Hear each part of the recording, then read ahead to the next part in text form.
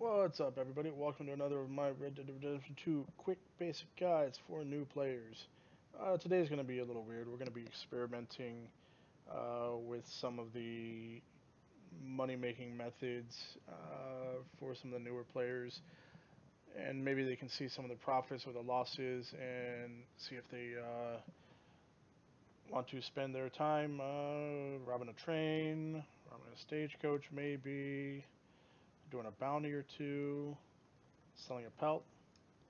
So first things first, we have our satchel. I already picked up a bounty, and we're not going to do the bounty, but I can just show you how much it's going to be. Seventy-five dollars.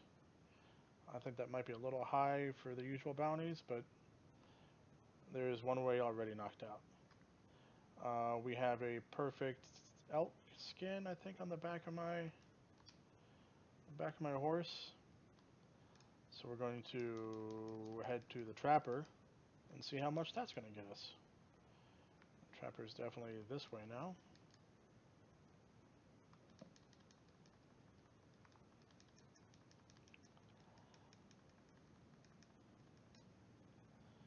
Gotta be careful in these major cities. You'll rack up a bounty real quick and then you'll end up losing a ton of money.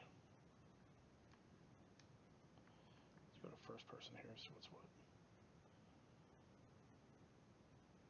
Mr. Trapper Man, how much are you going to give me for this pelt? Eight dollars and then three dollars for a beaver. Let's sell some of that. So right now the uh, the bounty is definitely uh, winning out. Let's head back to the train. Maybe rob us a train.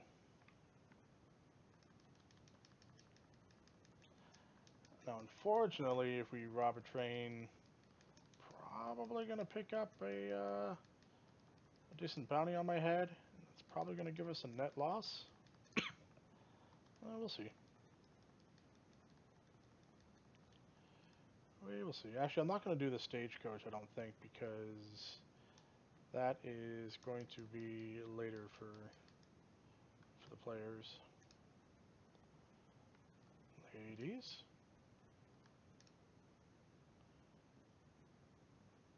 What's going on, buddy? Let's just go pick a random station. Now, I've gone over robbing trains in uh, another video, but uh, the method I think works well enough is just find the car that's farthest away from security and has some people in it. And then you'll be you'll be good to go. I think uh, I think the video I did with the train robbery, I ended up getting say $25 give or take and about a $100 bounty. So that wasn't worthwhile. But it's still a, it's still an option for anybody that wants to cause a little havoc. Uh, it's probably safer uh, if you don't want to get a bounty to rob a moving train and just to run away when you got all your goods. But I've got a little bit of cash right now, but we're just gonna see what we can get out of here. put on our mask. There's uh, security. Another passenger car. Security way back there. Let's see what happens. Hello. Let's see how long this will take.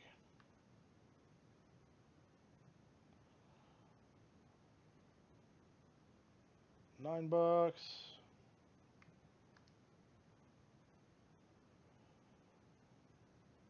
18 and a silver locket. 28. Ooh, I actually need that gold jointed bracelet. 28, that's 37. Let's see, we got a log coming on our right side. So, about 38 bucks and some jewelry, but we are now uh, wanted. So, We'll be lucky if we kind of break even on that. Run away, run away.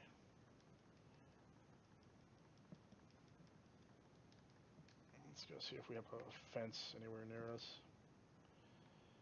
I know there's a fence in Rhodes. Let's just try to make a beeline over there, see what's what. I'm sure I've got some extra uh, jewelry on me, though. Oh, Jesus. Look at these guys.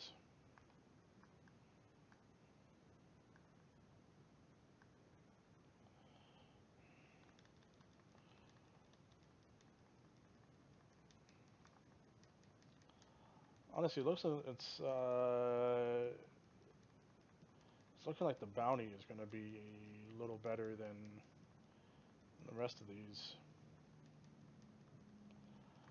But there is still the gold bar glitch if you haven't made it far enough in the story, as well as the money clip glitch in Mattock Pond.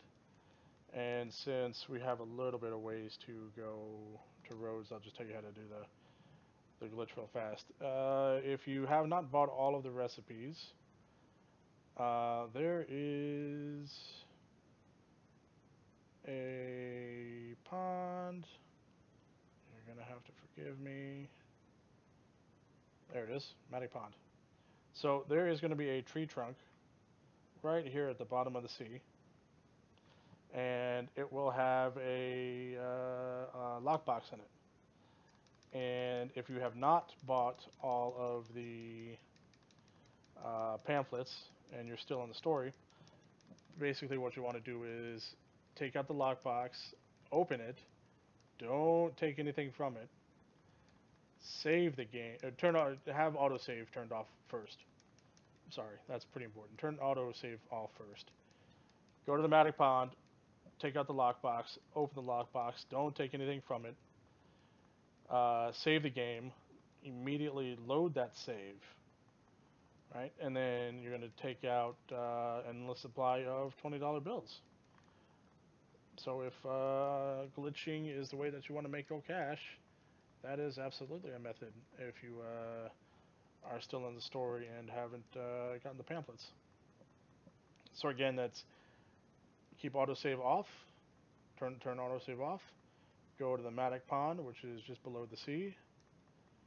Uh, take out the lockbox, open the lockbox, but don't take anything out. Save the game, reload the game, and then you should be uh, you should pick up uh, an endless amount of uh, $20 bills. So we're just about to this. Okay, maybe not just about. Let's see if we can cut some corners here. Get this video down. Come on, Horse. I don't know if that was a big enough shortcut at all. Suppose we... I don't know if that's a... I think we could have robbed that one.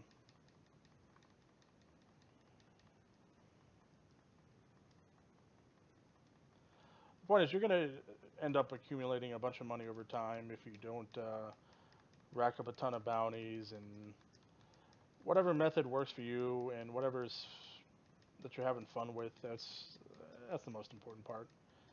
It doesn't matter if you want to sell perfect elk pelts for eight bucks a piece every time. Oh, that was steep. I'm so sorry. I'm so sorry.